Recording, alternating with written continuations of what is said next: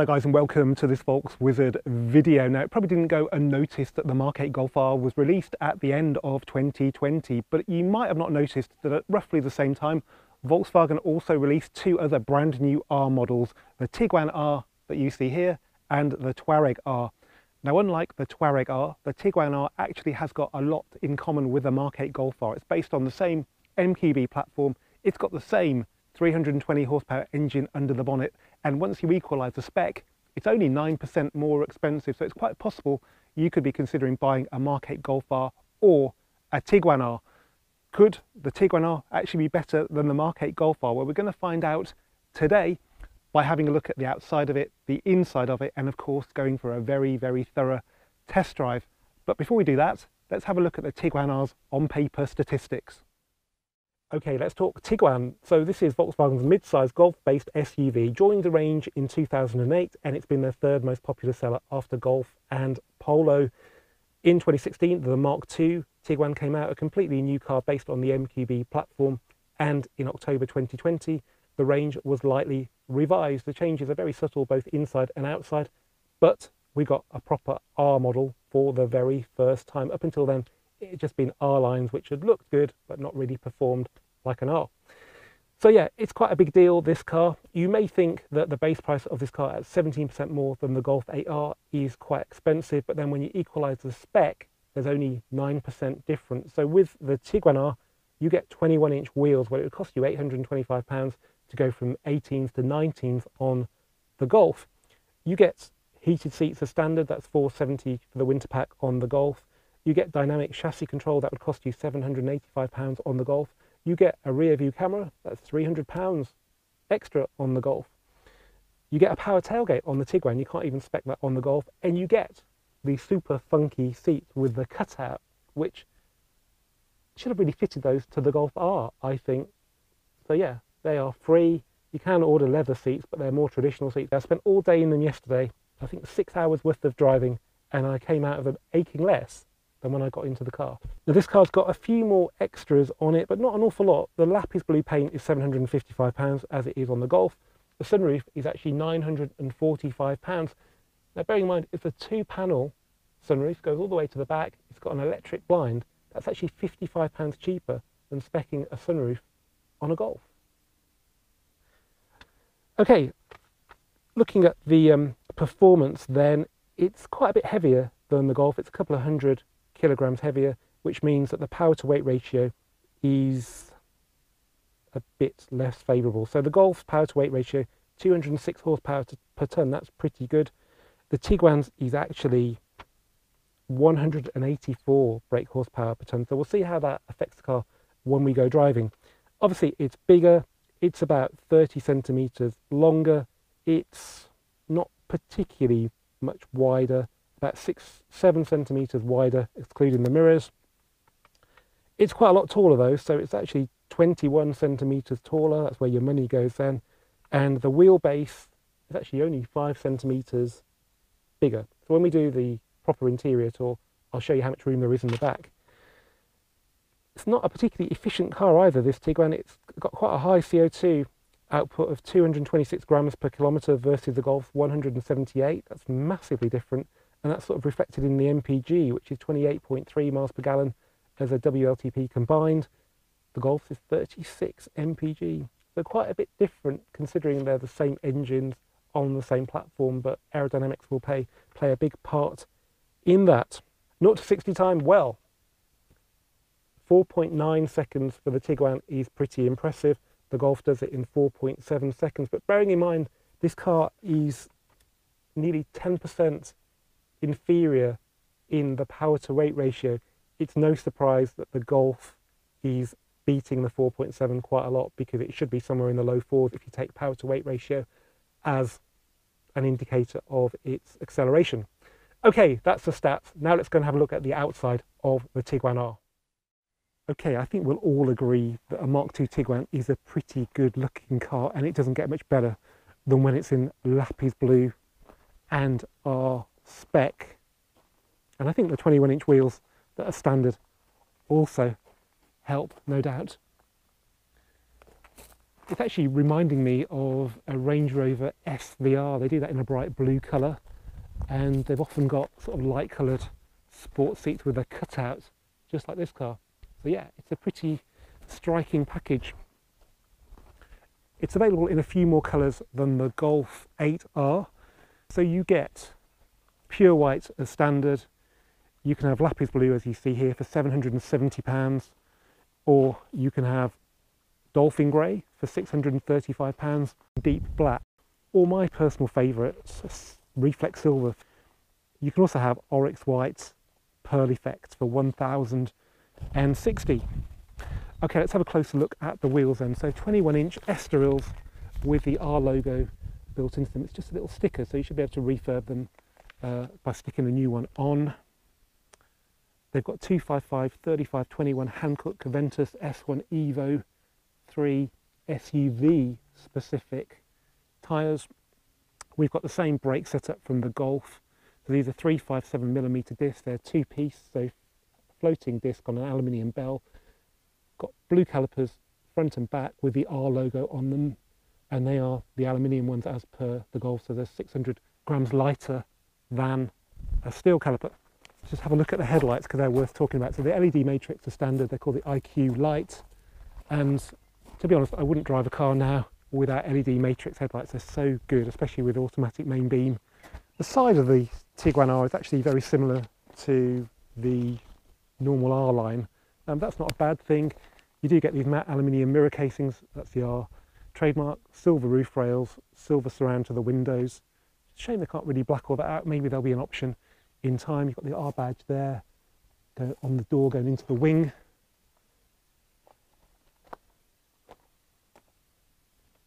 We've got, I think, a slightly bigger spoiler here, but the rest of it is pretty standard. Got the new R badge in the middle, which I'm getting used to. I think it looks pretty good, even though it looks like a folded up paperclip. There's a full width reflector down here, which is interesting. And there's a lot of gloss black, by the way, so there's no unpainted plastic on this car. It's either body coloured or gloss black. We've got the four exhausts, which are the R trademark, interestingly, they're not the thicker tipped version you get on the Mark 8 Golf R. They're actually more like the 7.5 ones. Down here, we've got independent rear suspension. We've got the little spoilers on the wishbones, just like the Mark 8 Golf R and Club Sport.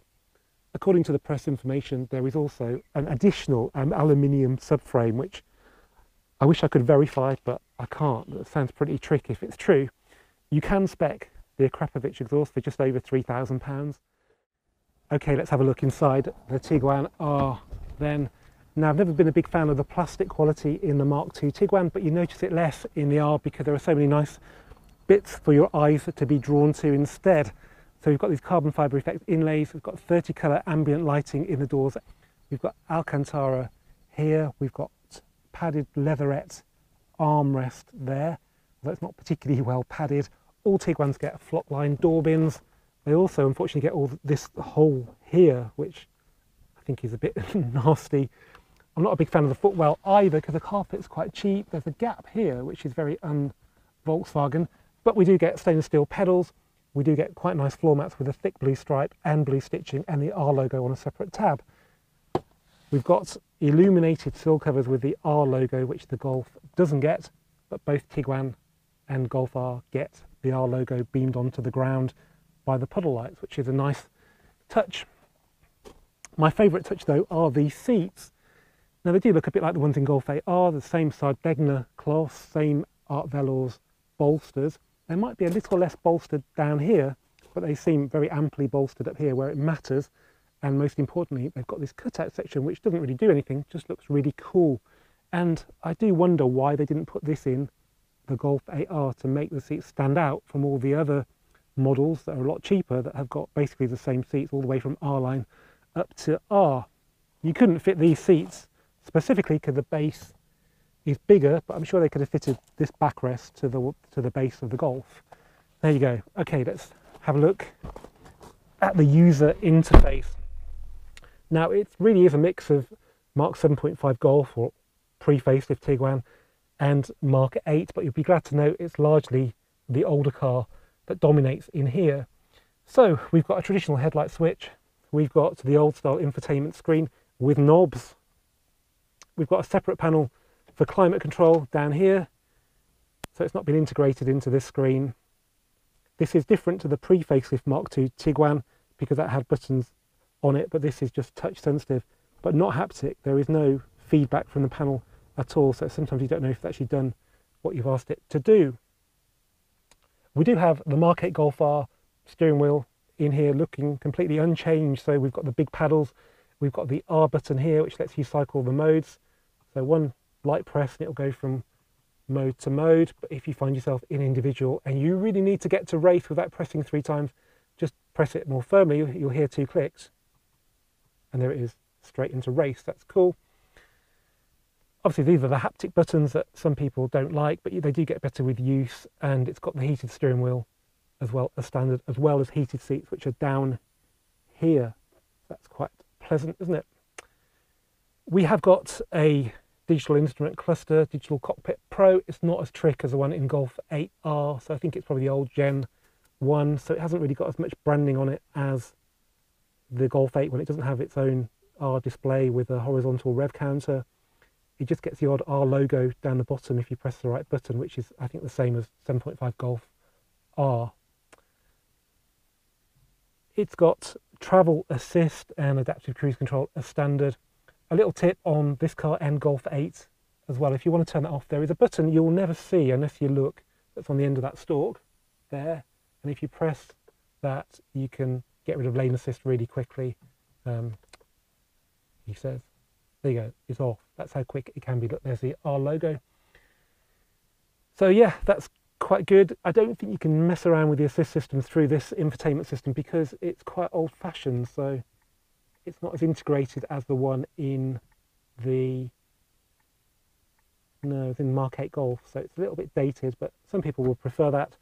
There are two USB-C ports in here now. So change from the traditional USB, so you'll need an adapter if you've got older cables like I have. It's got keyless entry and go but I'm not sure if it can be disabled as easily as it can be on Golf 8 if you feel it's a bit of a security risk. With Golf 8, you just do it through the infotainment screen. This is old school. It's not as well integrated into the car's electronics, so you might be stuck with it if you don't like it. It's okay in here. I think it's a bit cluttered compared to Golf 8. Some people will say it's more functional. Okay. I don't like the shifter. It's got the traditional shifter, which is quite chunky and it doesn't look particularly nice to me. Plastic, sort of aluminium on there. I think this gate has got blue stitching, but it feels like a bin bag. It's really quite nasty. We've got a full complement of buttons down here then, so electric parking brake with auto hold, traction control on and off, which is quite handy. We'll need to do that when we go and try the launch control later. We've got the mode selector here, which you can do as well down here using this dial, he says. Um, it's also got these uh, off-road modes as well. So seven modes in total. I think three for off-road and four for the road. Parking sensors on and off. There's a rear view camera. It's got self-park as well, so it'll parallel park for you with that button there. If the engine's running, it's in reverse, and you can turn the start-stop system on and off with that. Two cup holders down there, and yeah, pretty standard fare down there. When I first drove a Mark II Tiguan, when you moved the shifter, the whole surround to it moved. But I think they've sorted that now. That feels pretty good.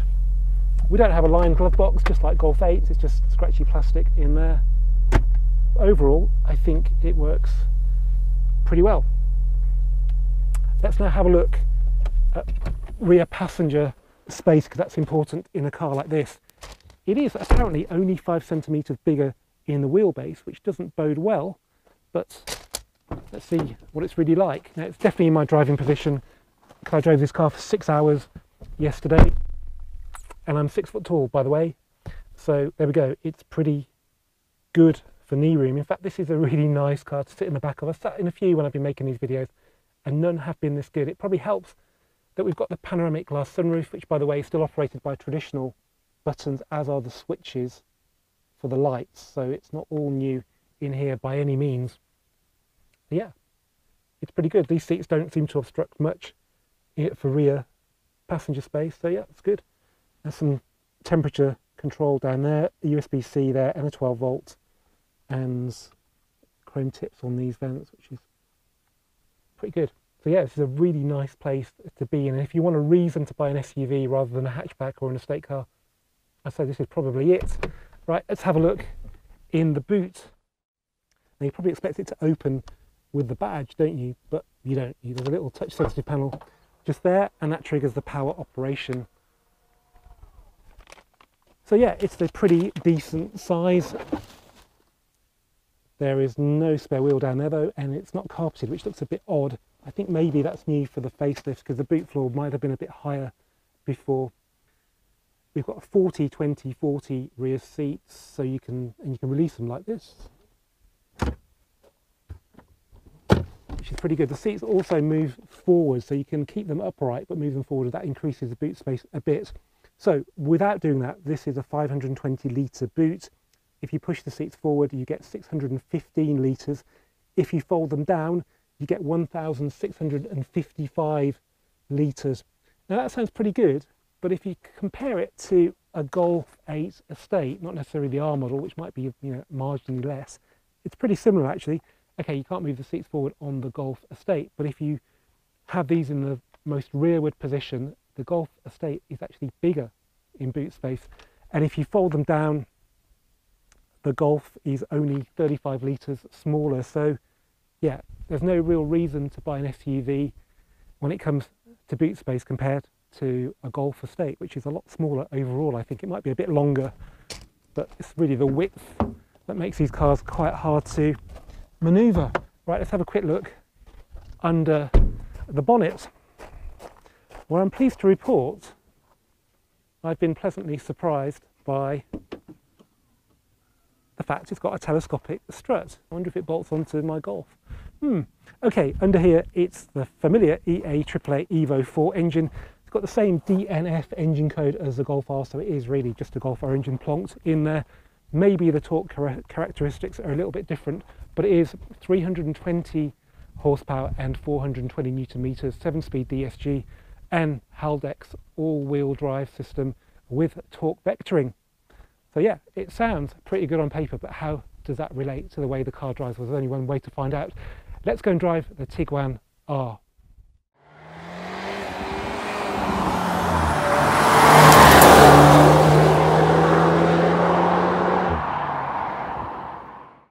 Okay, let's start off then by talking about DCC, Dynamic Chassis Control, because it's free with the Tiguan R, and that's probably a very good thing because with 21 inch wheels and nearly two tons to keep in check, it needs all the help it can get. Now, unlike Golf 8, we don't have multi-adjustable DCC with 15 different positions. There are just the three fixed modes of comfort, sport and race. There is no normal mode anymore, just like Mark 8R. Sport is the default mode and it starts up in that all the time. But you can switch it into comfort and it's pretty compliant. Still not super plush. Little imperfections like this will sort of shudder through the cabin. And then when you get to roundabout, it's actually pretty ugh, awful. If you've driven an SUV from about 10 years ago, you'll know what I mean. Yeah, there's quite a lot of squidge in the chassis, more than you'd expect considering how the ride quality isn't an awful lot better. So Sport is pretty well judged. And yeah I think most people will just leave it in that mode all the time. There's a bit of fake sound but it, it seems to ride not that differently to comfort mode. And when you get to corners like this it feels good. Body control yeah is actually very impressive. Up to a point though it's no Golf R this so let's put it into race mode and give it its best chance. So everything's hunkered down. There's a bit more fake noise there's not an awful lot of real exhaust noise, by the way. You might want the Akrapovic. Now in these corners, you know, it feels great. It feels good, but it doesn't feel anything like as good as Golf 8R.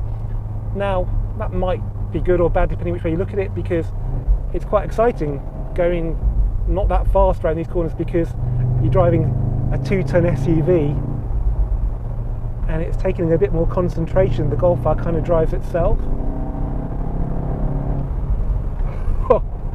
Yeah, and there are some kind of moments where the chassis does something that sort of scares you a bit, but it, it's really shouldn't be scared because it is very good. It's just not as good as the Golf R, and that's a really good car. Now, performance-wise, well, we've got the same 320 horsepower, we've got 420 newton meters of torque, just like the Golf R, but we weigh 200 kilograms more, and that's not to be ignored. Likewise, we've got the same brakes at 357 millimeters, but they're going to be doing a lot more work in this car with 200 kilograms more to deal with. So, whilst on paper it's a match for the Golf R, if you look at the weight, it's not. It's it's the good sort of five to 10% inferior in everything, but that still makes this car hugely, hugely capable. I mean, you wouldn't really want any more performance than this. It's just ridiculous the way it just headbutts the horizon.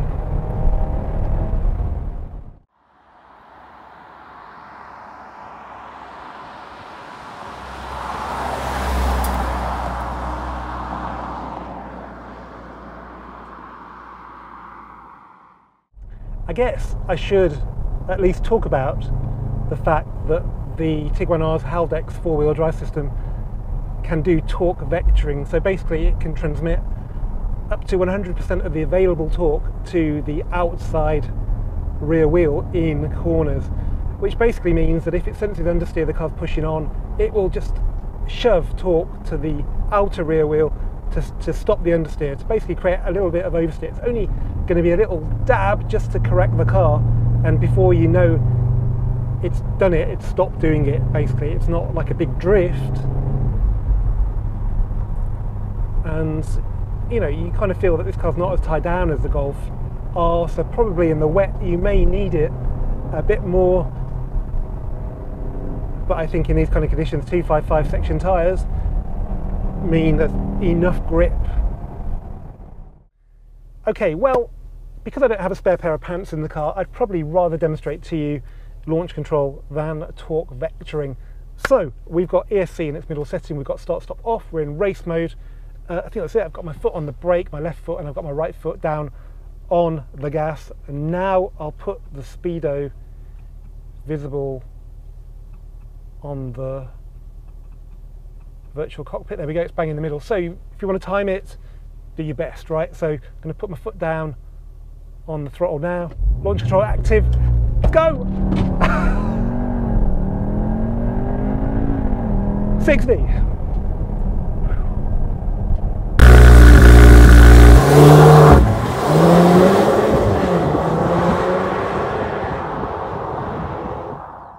Now that's not as fast as the Golf, I can even tell that from here, but it's a lot more exciting because the car almost feels like it's going to do a wheelie. There's definitely a sensation of it going back on its rear wheels. It's brilliant. Okay, let's also try the stationary rev thing because the Golf R did it. You could rev it through, there's no soft limiter, and was just curious to know if they've kind of forgotten the bit of fun with this car or not. So we're in neutral. I'll give you the display on here. No, it revs right through.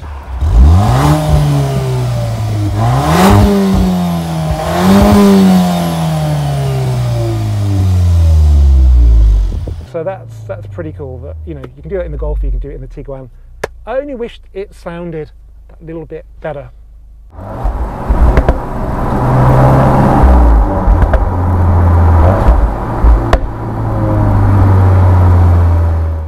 Now, I've never been a big fan of SUVs and that hasn't changed today. Yes, you get the higher driving position and a bit more space, but you do pay for that in terms of handling and efficiency. But clearly, the typical car buyer does not care about those things because SUVs are selling like hot cakes. So for me to give this car a fair review, I need to look at it from the perspective of the typical SUV buyer. And if you do that, it makes a lot more sense. It's only 9% more expensive than the equivalent spec Golf R, but for that you get a much bigger car. You get a lot more space for rear passengers, which is really important if you're carrying children. But I think most importantly for a lot of people, whether they'll admit this or not, is that for the extra 9% over the Golf, you get a car that actually looks at least 20% more expensive than the Golf R. And I think for a lot of buyers, that does mean a lot because it will impress friends, relatives, colleagues, neighbours a lot more than a Golf, even a Golf R. Anyway guys, thank you for watching this Volkswizard video. If you've enjoyed it, please give it a thumbs up, please do comment, please do share. As ever, please do subscribe and I'll see you for the next one very soon.